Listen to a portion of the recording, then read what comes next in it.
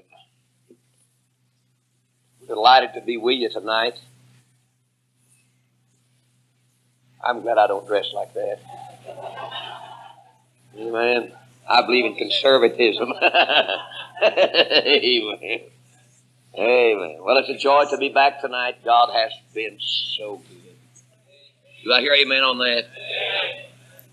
You know, some of you acted awful last night.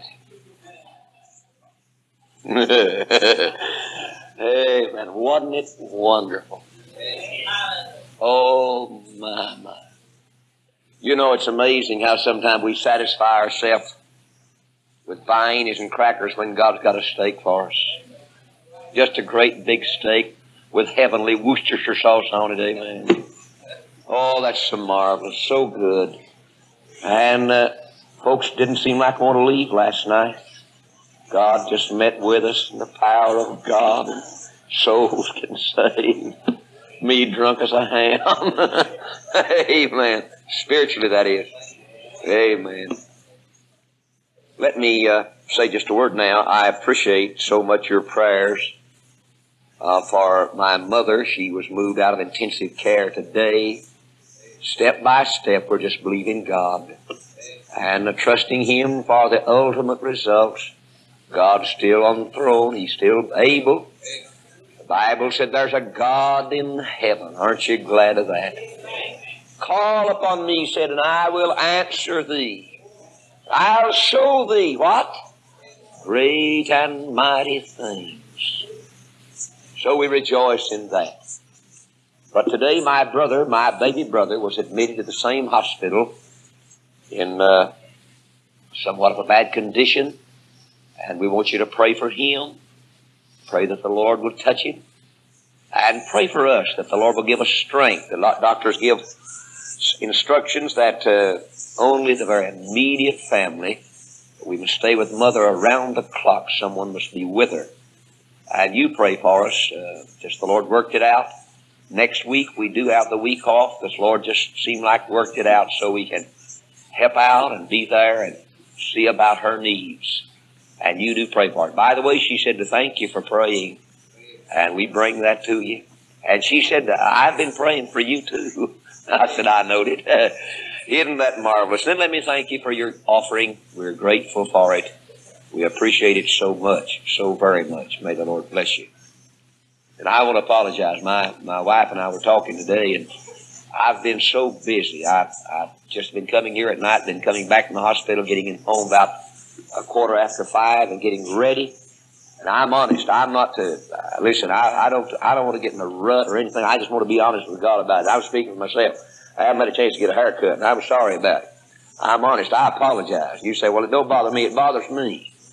It bothers me." And I, I want to listen. I, I, I want you to know here and now, brother. I, I, I want to be that man that God can touch and anoint. I, I don't want the Holy Ghost to ever be displeased with me. Amen. And I believe uh, somebody said, well, preacher, a lot of preachers just got off the rut and preach about these things. I believe a Christian ought to look like a Christian, don't you? I'm not, I, you say, well, preacher Ballew, they call me, call preacher sometimes clothesline preacher, or preachers they can't preach about nothing but haircuts and clothes and things like that. Folks, I believe if God deals with your heart and God speaks to you out of this book, you don't have to figure it out. You can go ahead and do it. Amen. You just go ahead and do it. I've heard folks say they're praying about tithing. That's the stupidest thing I've heard in my life. You don't have to pray about tithing. You can go ahead and start. It'll be all right with God. Amen. You can just go ahead and start. And uh, I heard a young man the other day, I'm praying about getting a haircut. I said, son, you don't have to pray about it. oh, said, he looked like Mabel or Francis or somebody. Amen. And uh, I said, you don't have to pray about it. I want to, huh? Yeah, that's right. I saw some of you men. Listen, I love you dearly. You need a haircut like me. I'd almost let you cut mine if you let me cut yours. Is, for some of you are so bad off, I would. Amen. And I promise you right now, you'd do a good job on me because you'd be afraid what I do to you. Amen. And I might well own up to it. Before you left here, you'd look like a mohawk. Amen. But honest, some of you men need a haircut. I need one. I'm not to. I, I'm not uh, saying that just to try to be funny. You really do. I'm a little surprised at some of you getting fuzzy around the edges. Amen. Kind of looking like Pat Boone or somebody. They're going to start calling him Patricia. Do you know that? Amen. Amen. Well, amen. You said I'm mad at you. Well, I done got your money now and you ain't going to get it back. So glory. Glory to God. Isn't the Lord so good? Open your Bibles to the book of Job tonight. The book of Job.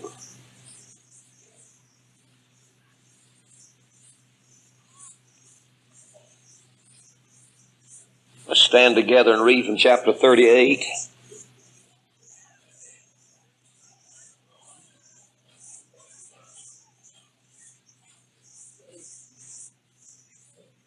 I want to read one verse again tonight.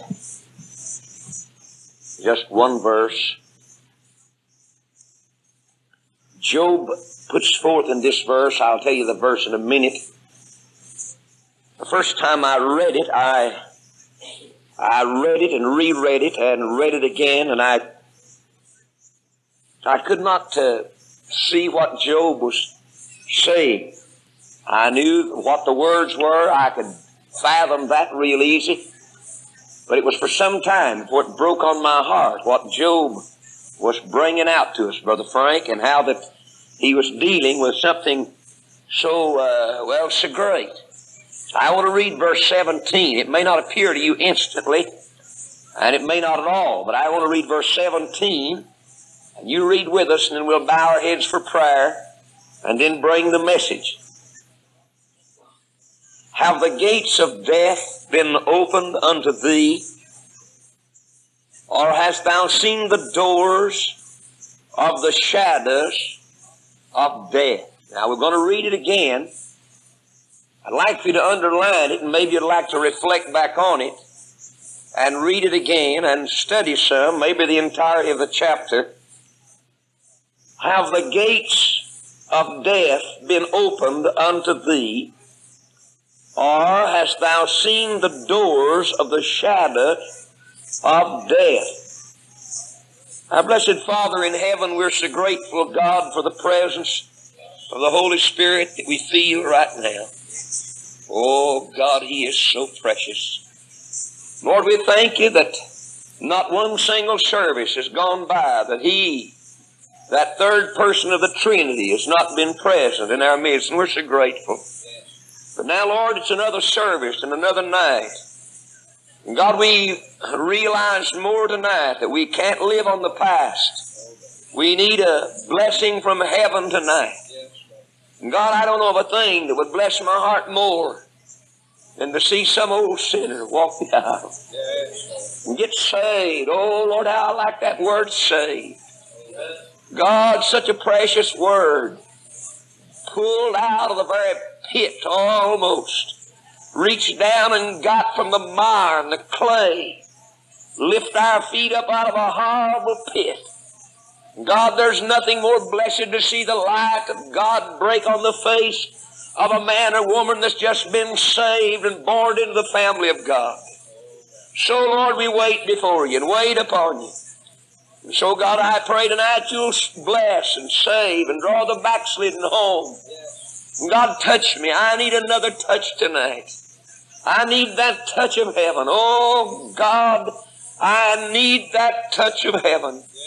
So, God, tonight, bless us and breathe upon us. And I pray tonight, Lord, that we'll all pray about the services tomorrow. God, seven souls, men and their wives. God, and then there'll be others we trust besides them. God, we're just waiting for a great ingathering tomorrow. So, Lord, tonight, just let us see somebody saved tonight. God, give me that liberty. Ah, I seem like I just can't quit talking to you. God, I want that liberty tonight. God, touch my throat and give me clarity of speech and and Lord, just give me that heavenly energy that comes from the vitamins of God. Have your way among us and bless us, and we'll thank and praise in Jesus' name.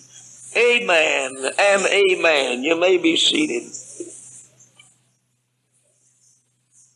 Job's dealing with a gate is one that it took me some time to see. He sets the gate out as an example, as a very prominent example, and begins to deal with a simple thing such as a gate. Now, I wouldn't have to ask this, but just so you'll have the chance to identify yourself, I wouldn't have to ask how many country folks and ex-farmers are here. It still shows on you. How many have we got, though? Let me see you raise your hand. Amen? Yeah, I thought you was. I, I really had you spotted all the time. Some of the others are, but they're trying to forget it, yeah?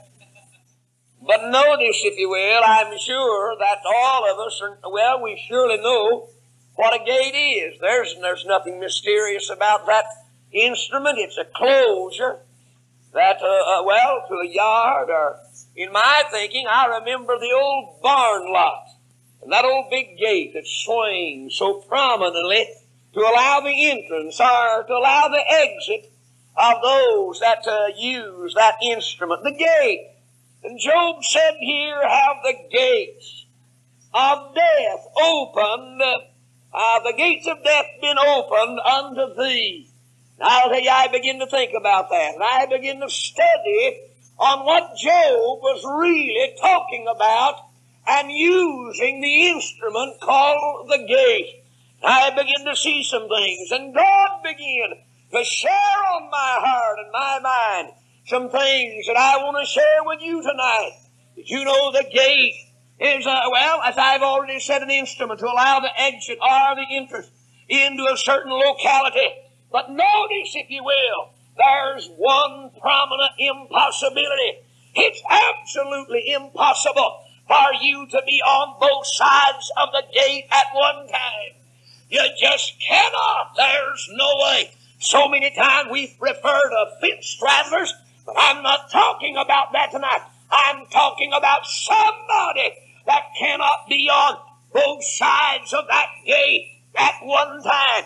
And notice, if you will, he's having a reference to death. He said, the gates of death. Oh, dear friend, there's some of you sitting here right now. God's been so good to you and's blessed you beyond measure and's looked down upon you and smiled upon you and's been so good to you. But my friend, I must break this news to you. One day after a while, you're going to come up to this gate. There's no way of getting around it. Uh, Brother Danny said a while ago, the rapture may come tonight. And we'll either go out by the rapture or we'll meet death somewhere, Brother Frank. Or your course of action. You're just going to keep on living and you're going to keep on being young. It's just not so. You're on your way toward death.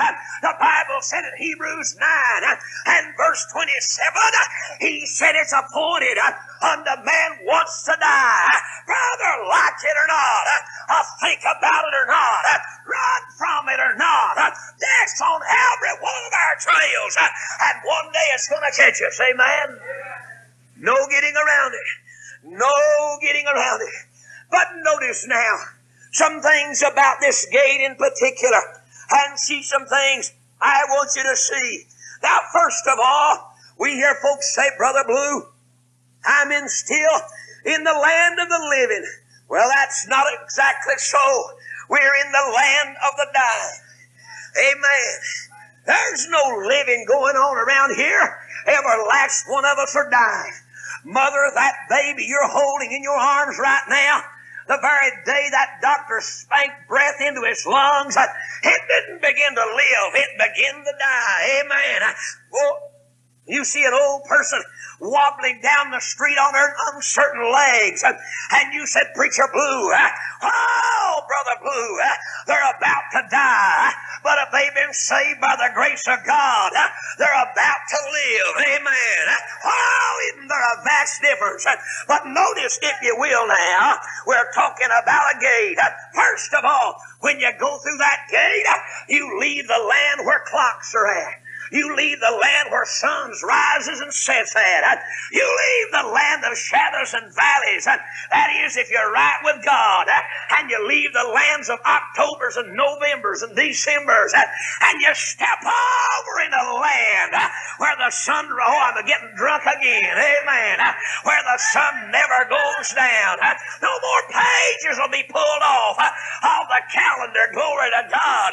When you step over through that gate, you're in eternity then. Amen. Isn't that great?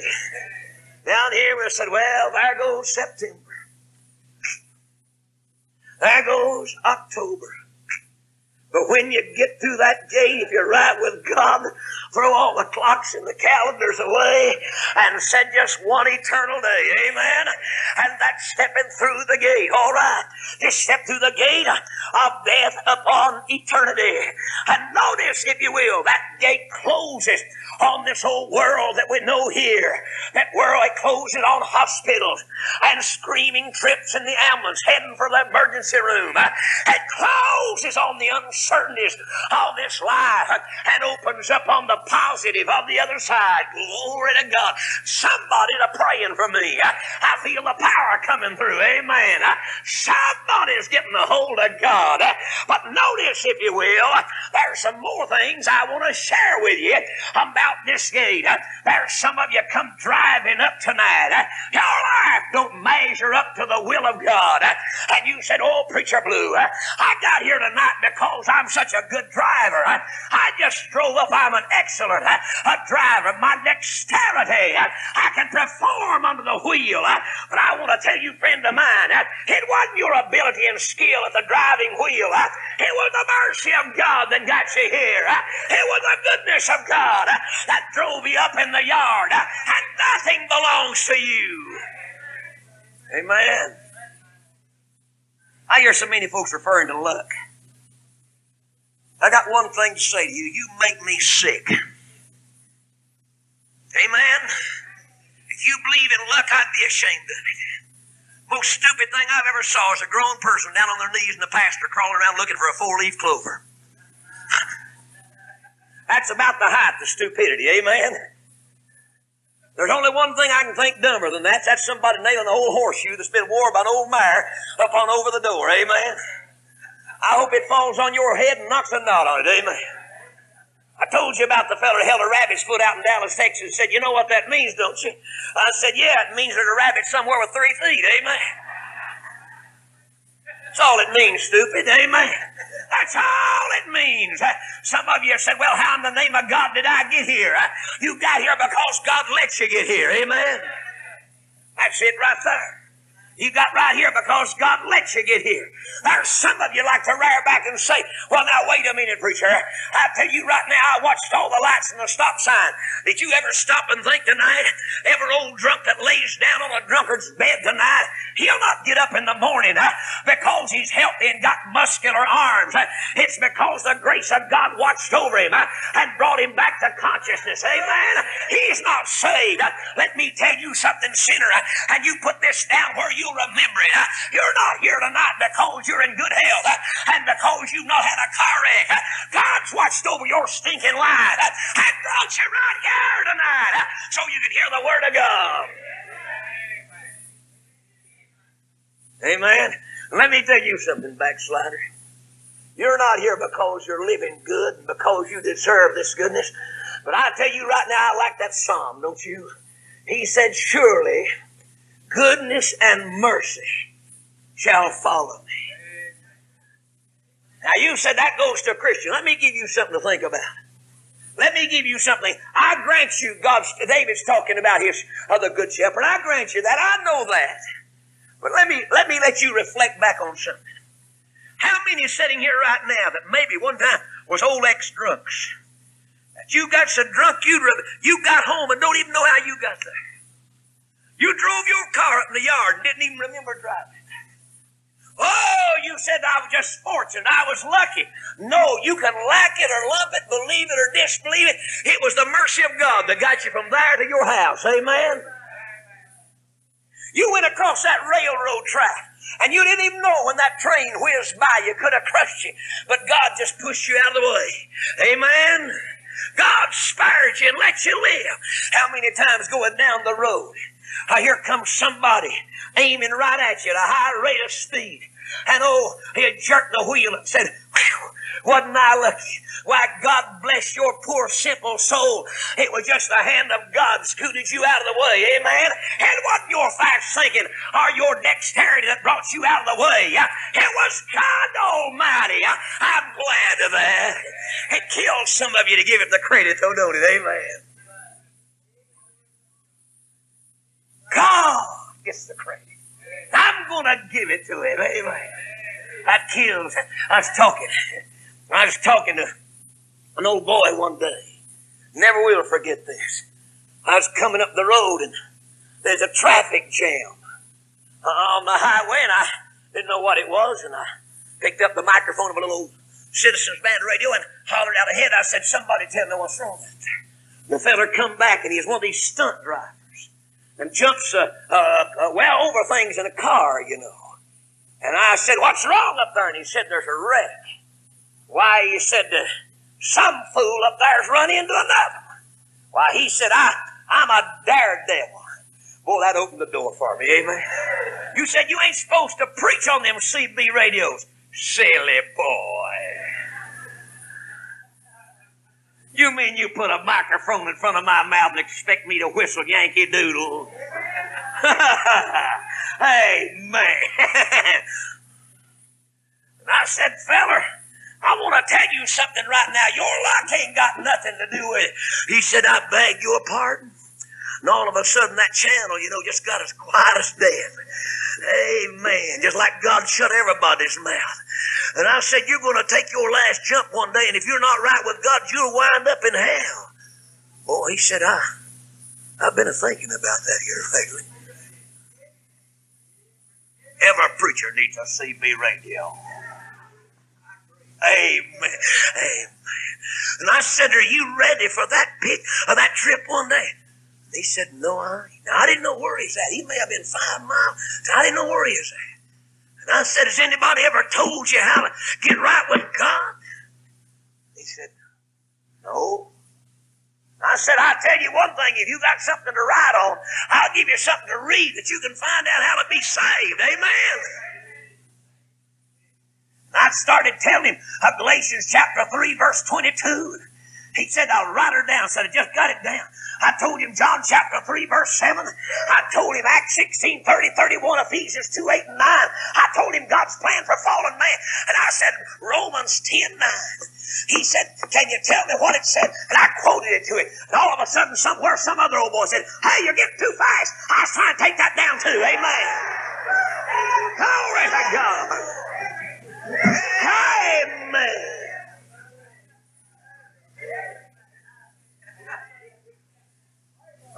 Yeah, I Amen. Oh, friend of mine, you hear me? You said, will you ever meet that old boy in heaven? I don't know, but I give him enough of God's word to tell him how to get there. Hallelujah. All of a sudden, some old sore head chimed in and said, if you're going to preach, get on another channel. Amen. He said, ain't he going to do it. I'm going to preach to you too. What I'm saying is, friend of mine, you better quit depending on luck and realize every good and perfect gift comes down from God. It's not you, but God that gives it to you. How many of you realize that? Amen. You better realize that. So that gate, that gate, bless your heart, opens in eternity. But now notice, if you will, I want you to see this. God sends goodness and mercy all the days of your life. That little infant baby that could have well, a disease could have hit you. You could have died when you was a baby. But God's brought you through that childhood. Brought you through all those little narrow escapes. Did you ever hear anybody say when they're grown up, I don't see how I ever live to get grown? I'm one of them. It's one right that fell off one of them grapevines that was swinging on and got killed. Amen. It's one right that got trampled down there in the barnyard by some old wild a horse. Amen. Oh, you said, Preacher Ballew, I was just lucky. No such a thing, friend of mine. Goodness and mercy. The blessings of God has brought you safe thus far. Amen. I'm going to tell you right now, your destiny, your destiny is not depending on luck. It's depending on what may happen right there at that altar tonight. I'm glad of that. Now notice, if you will, notice for one minute, goodness and mercy follows you. Oh, listen, I want to tell you, friend of mine, all down to this life, you've turned off radio preachers. I don't like them old preachers. Uh, you've thrown down of the Bible that's laying there on the coffee table. I don't have no time for that. Folks have begged you and pled with you, try to get you to the house of God. They've tried their best to get you under the Word of God. Folks come to your house and knock on your door and try to give you a gospel tract, and you slam the door in their face, and, and goodness and mercy still there, and still watching over you, and still the little kids look up at you and say, Daddy, go to church with me. Mama, take me to the house of God. Said, get away and leave me alone. And goodness and mercy is still right there and watching over you. I'm going to tell you, hot shot, you're getting closer to that gate. Amen. And one day you're going to walk up to it. Oh, somebody said, what's going to happen? What in the name of God is going to happen when I get there? Well, I'm going to tell you something that's going to happen. Number one, my friend, you walk up to that gate and my dear friend, you step through it and things change right there. Somebody said, What happened? You look back, and all of a sudden, goodness and mercy is standing back there. You say, Come on. Come on. I'm going to need you. They said, No. You're on the other side of the gate now. Amen. They can only go so far. Goodness and mercy follows you all the days of what? Your life. Here. In this world. Amen? Now. But when you step through that gate, goodness and mercy that's brought you through accidents, you call them, it's brought you through sicknesses, brought you through operations, brought you through near scrapes, brought you through wars, brought you through cancers, brought you through everything that's come your way. And suddenly you look back and they stopped. Come on! Come on! No, we're not going. And about that time you look around after you've crossed through the gate of death and you see somebody else coming. You say, What's your name? Who are you? He said, I'm the one you never did want yonder. I'm justice. Did you get that? You've run headlong over the mercy of God all through this life. You jumped up in the altar call and grabbed the songbook or held on the back of the bench. People's pled with you and tried to get you to God. You wiped away hot tears and you've quenched the Holy Spirit and said no to the Holy Ghost. You've done everything in your power to say no to God. But brother, you step through that gate and you can holler and scream for goodness and mercy all you want to, but justice said, I'll take it from right here. I'll take it from right here. Amen. Your days of altar calls is over. Your days of folks begging on you and pleading and pulling your arm and trying to get you to an altar wet with tears under the preaching of the Word of God. Uh, and you turned it down and made a mock uh, and laughed at God and said, I didn't get me that time. Uh, but honey, you walk off and leave goodness and mercy and walk out of this life and step across through that gate and hear that gate slam behind you. If you'll pardon this crude expression, you've had it. Amen. When you say the Catholic believes that in purgatory, give me chapter and verse. Hmm? They believe in limbo. Give me chapter and verse. Friend, let me tell you something right now. You walk over the gospel in this life, walk over the blood of Christ and the pleading saints, step through the gate of death and say goodbye to goodness and mercy. There ain't no purgatory waiting for you. There's a burning hell without God waiting for you. We've painted this thing now too, uh, too rosy pink. We've got folks to believe in, well, it's not as bad as I say it is. But I don't know about you modernists, but I'll tell you what I believe. I believe there's a literal burning, screaming, tormenting hell. Men that die without the Savior go to hell. Men that die without the blood of Christ will wake up in hell. The Bible said, where the worm dieth not and the fire is not quenched. Do you believe that? Say amen. Modernists don't believe it. They don't believe there's a burning hell, but here's one old long-legged hillbilly preacher that believes there's a hell. I believe boys and girls go there that turn Jesus down. I believe men and women go there that turn Jesus down. I believe people that's pretending and acting like they've been saved all these years, or all these days, or all these weeks, or whatever time you've been pretending. I believe they go to hell when they die. Amen. I believe every unsaved church member goes to hell. I believe every unsaved preacher goes to hell. I believe every unsaved deacon goes to hell. I believe every unsaved singer goes to hell. Every unsaved teacher goes to hell. Everybody that's never accepted the blood of Jesus, when they die without the blood of Christ, they'll wake up in the pit.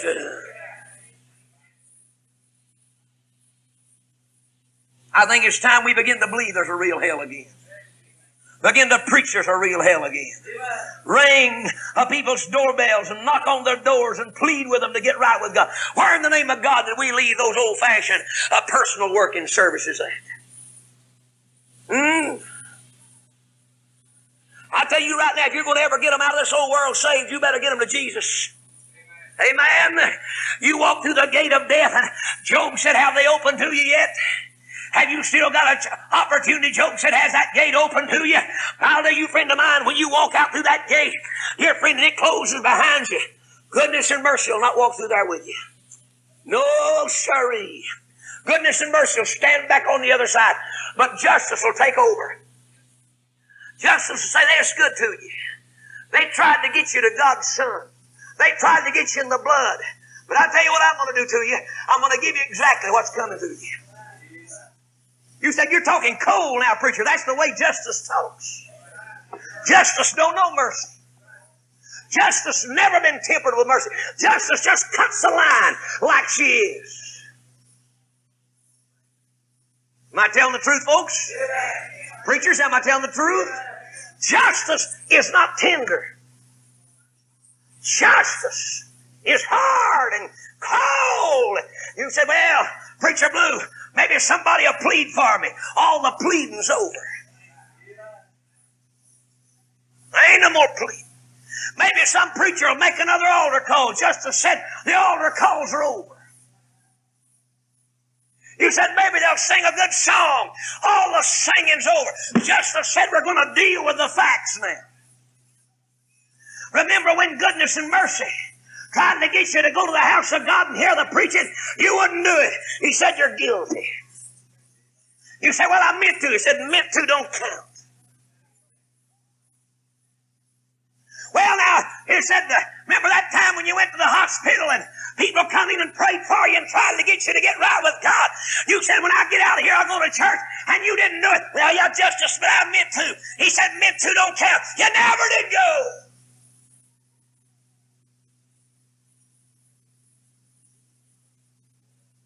This may come as a shock to you, but there was a time in my life I wanted to be. I mean this, and I'm, I'm serious about it. I want to be a lawyer. But I think one of the most frightening things I ever saw in my life. A young man had been tried for murder. It was the most clear, concise bit of evidence I'd ever seen presented. I still go watch court cases. To me, I, I, I don't enjoy seeing anybody have to be punished, but I like to see the mechanics of law in action. But I think the most frightening thing I ever saw in my life, all the evidence was in, all of it. The jury had heard all the evidence. Anybody could have saw it was plain. And there was a man, I know we like to think of picturesque ways, but there was a judge on the bench that had listened to all of the evidence Every bit of it. He turned in that swivel chair and charged the jury.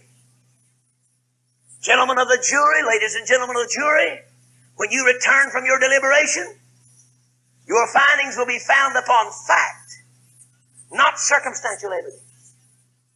But if your finding dictate to this court that the defendant is guilty, beyond a shadow of a doubt, any reasonable doubt, the court shall find him according to your findings. And then he charged him the other side. If he's innocent, he shall be set free. But the jury went out for a short while and came back in. The bailiff handed the findings on a piece of paper to the judge. The judge looked and handed them back to the bailiff to be read.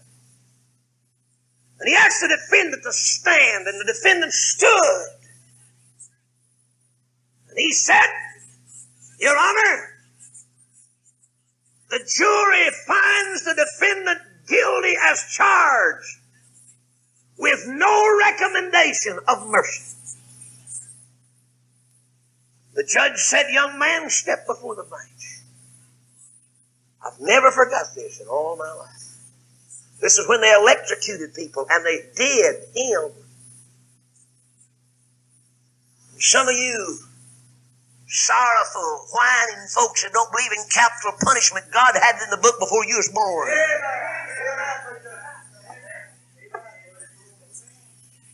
That young man walked before that judge, and the judge said, Boy, I've got a son about your age. He said, I find no pleasure in this. But it's clear and concise. It's laid down by law that I've, I've sworn to uphold. He said, Son, I've charged the jury. The jury has brought in the verdict. I sentence you to die in the electric chair of the federal penitentiary in Atlanta, Georgia. He said to the jury, You're dismissed. Thank you. The courtroom was as silent as a tomb. You say, Preacher Ballew, what am I going to get? Hebrews 9 27. He said the appointment, and after that, the judgment. Amen. You said death winds it up. Uh-uh. It don't wind nothing up. It brings you right smack dab in front of justice. Amen. It brings you in front of justice.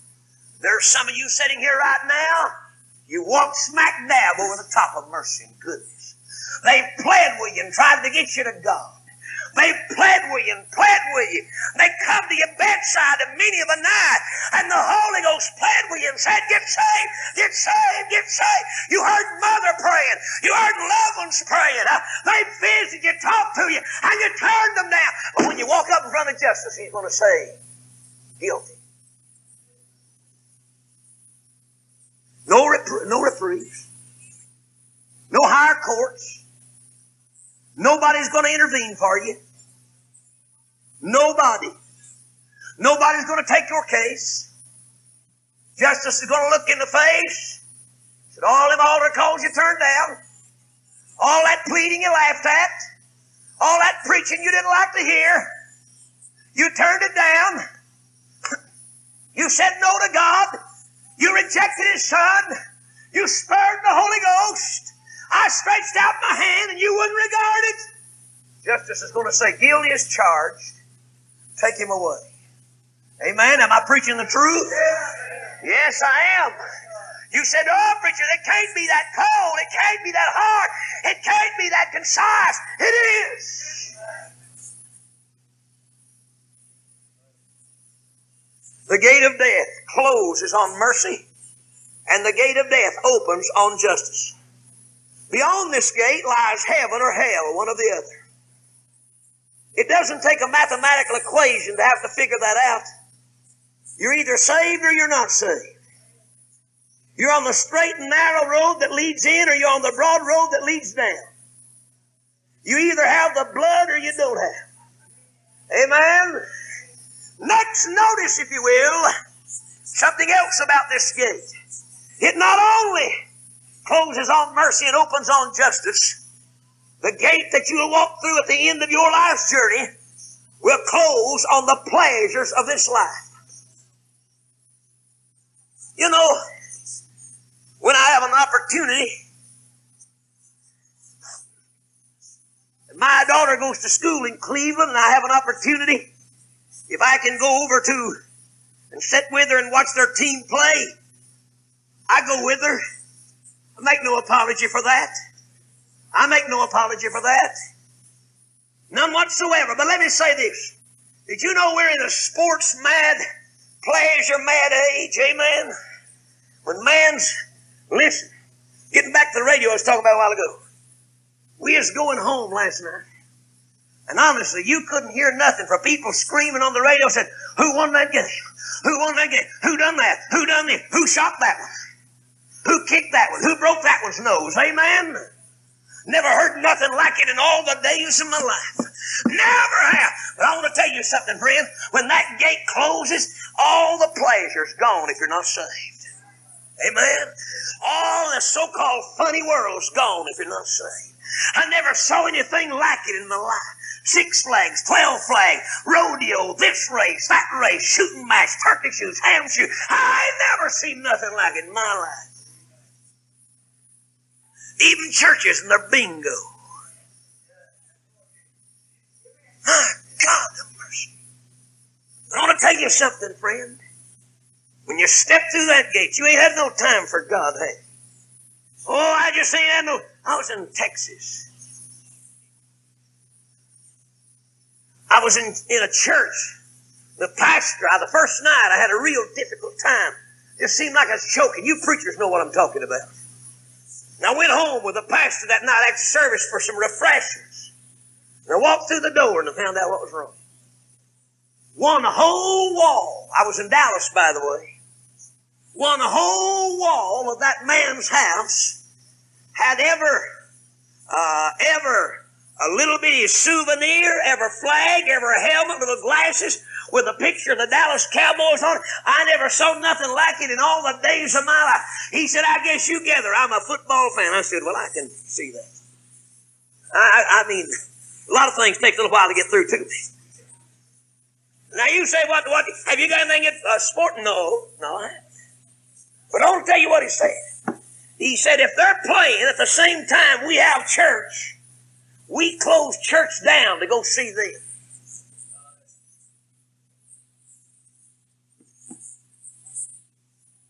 See, we're so cranked up and, and pepped up on, on the pills of sports and, and this amusement and that amusement, that bright light and that bright light. But I want to tell you, hot shot, when you step through the gate of death, that's all over. You're laughing and mocking uh, and ridiculing of the church uh, that tried to lift Christ up, the saved or sin bound, a sin sick soul uh, that was headed for hell. That's over. You said the service ain't like last night. No, but God's letting me plow down through somebody's soul. Amen. Boy, there's one or sin bound, a sin sick soul that was headed for hell. That's over. You said the service ain't like last night. No, but God's letting me plow down through somebody's soul. Amen. Boy, there's one thing about it. You're going to come to this gate. And there ain't going to be no running back when God says that's enough. You ain't going to run back and get some old preacher with a hand that's tried to win you to God. Brother, when you walk through that gate, that's final. Justice walks up and said, It's time for you and I to do business. We're going to get together whether you like it or not. We're here now. So, my friend, listen. That gate, when it closes on pleasure of this whole world, that gate closes upon all the rose bowls, the cotton bowls, and all the other bowls. It closes upon the, uh, the golf games, ball games, and on the gambling games, and all the other pleasures of this world. It'll open before God Almighty, and you will face Him. Amen.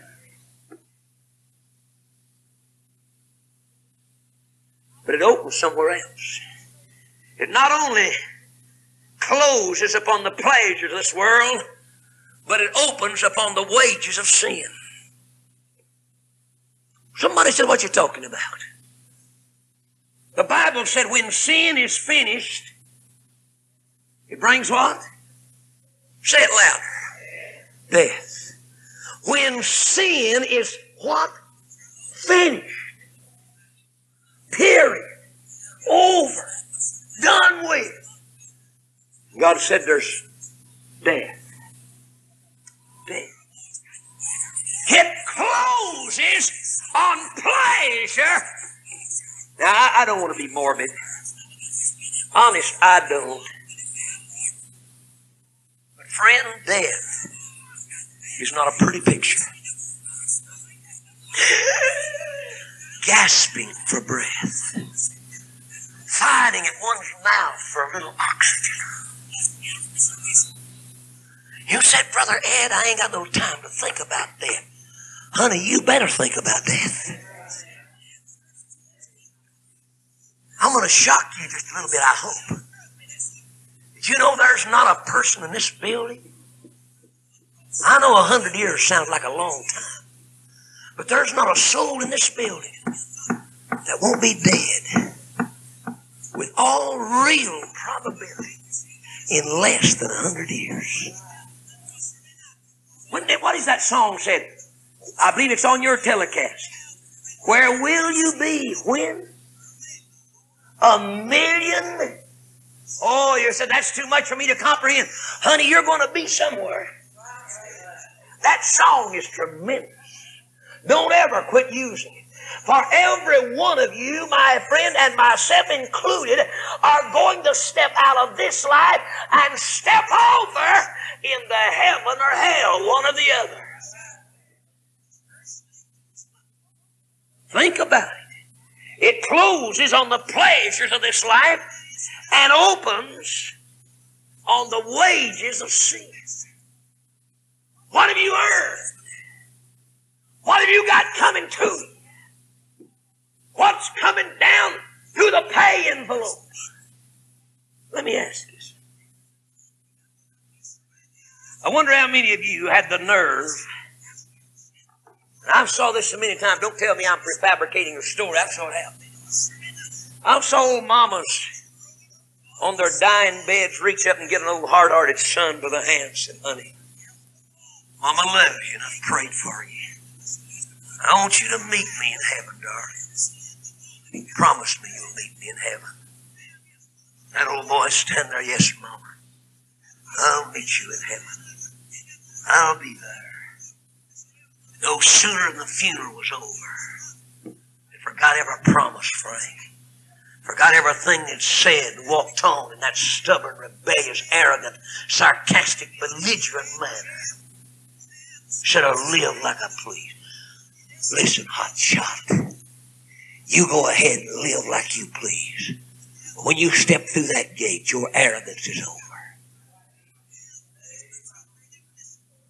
Your broken promises you've thrown around so loosely. Mama's shouting on the other side. God will dry her tears. And she'll never weep over you another day. But while you're burning in the pit of the damned, you'll see Mama shouting on the other. I believe that. Amen. Modernist the other day told me he didn't believe it. That people saw from that. Well, I'll tell you right now in Luke 6, chapter 16, that rich man saw, didn't he? Amen. So it opens on the wages of death. Then notice next of all, if you will, it closes. Get this now. It closes on. Have you ever, have you ever thought after a service, have I made my last altar call? I hardly ever drive away from a church saying, was that the last altar call I'll ever make? And then let me shock you again. I wonder if you'll hear your last altar call tonight. I want us to sing for the invitation. Oh, do not let the word depart. That is, if you have. Oh, why not tonight? It may not be in the books, but if you can find it, we all know it by heart. Wonder how many has walked away from this revival that's heard their last call. No. It'll close upon that time to repent. There'll be no more God, I'm sorry. God will say, Your time for repenting is over. No more. Well, you said I meant to repent. I, I planned to do it. Yeah, I'll tell you where you planned to repent at. Let me show you this. You even planned it out that you was going to be in the hospital. You was going to be real old, and they'd take you to the hospital, and then the doctor's going to come in and say, I'm afraid you don't have long. Okay, doc. I've had something planned all my life. I'm going to get saved right here.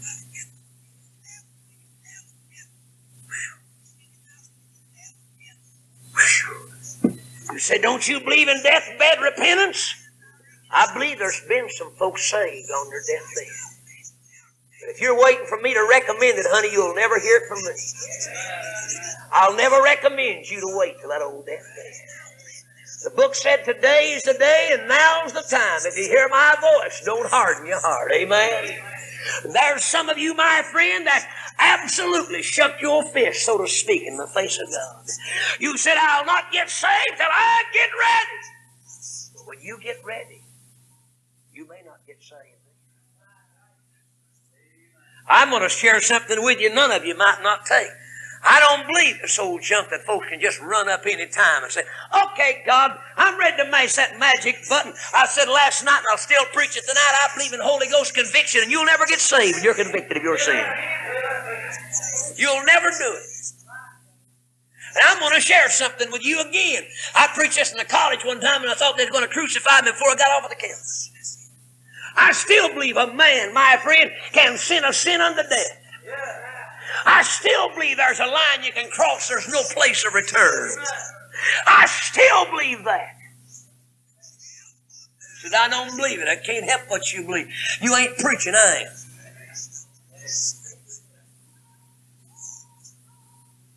And I believe with all of my heart, when that gate closes behind you, your damn altar call and getting saved is over. There ain't no more place to get saved after you die. You know who I'm you know I'm really sorry for tonight. All week long, seemed like I've been seeing young faces right in front of me. All week long, I've seemed like God just had a multitude of young faces right in front of me. There's some of you boys and girls think that you've got time to sow your wild oats and live wild and live the life you want to. But I'm going to tell you why you've still got a tender heart that God can deal with, you better not harden that heart. You better let God deal with you. There's me, and I dealt with a man some time ago up in his 70s. I said I used to believe the Bible, but I don't believe it no more. I used to believe in God, but I don't believe anymore. Let me tell you something, friend of mine. He that being oft time reproved. I used to misquote this, and hardeneth his heart. Don't say it way. He that being oft time reproved hardeneth his heart. You show me a man that's been preached to all his life and walked over the gospel and walked through the power of God and walked through the grace of God. He'll be as hard as a rock. Amen. And God will let you get that way. I believe this week revival, God's giving some of you young folks a chance. There's one girl was out right there last night. You know what she asked for? She asked for God to give a revival in her in her school. Some of you are even afraid to identify yourself. Some of you used to take your Bible to school, but you're afraid you'll be called a fanatic, aren't you? I'm going to tell you why you walk for God, you better do it. Some of you young folks sitting around here right now, while God's, while you're on the other side of that gate and living and got warm blood flowing through your veins and a pulse beating and saints around you praying for you that you can be strong in the Lord, you better live for God. I know you're looking at me funny. Some of you said I can't be a fanatic. One boy told me that's the reason he couldn't get a haircut. I'd be ashamed of that. You look like, listen, you look like what you're hanging around. Amen? You said don't look like a hippie. You just want to kind of look like one, don't you? You don't want to look all the way like one. You just kind of want to fuzz around and kind of look like one of them. Amen? This is Brother Ballew. I hope and pray this tape has been a blessing to whoever may be listening. Uh, there was just a few more minutes of the uh, message, but uh, you have got the full weight of it in the text. But we were not able to get it all on the original uh, trans uh, when we recorded the last time. So I trust this tape has been a blessing to you and to whoever may listen. God bless you is our prayer. Remember us when you pray. Second Thessalonians 3, 1 and 2.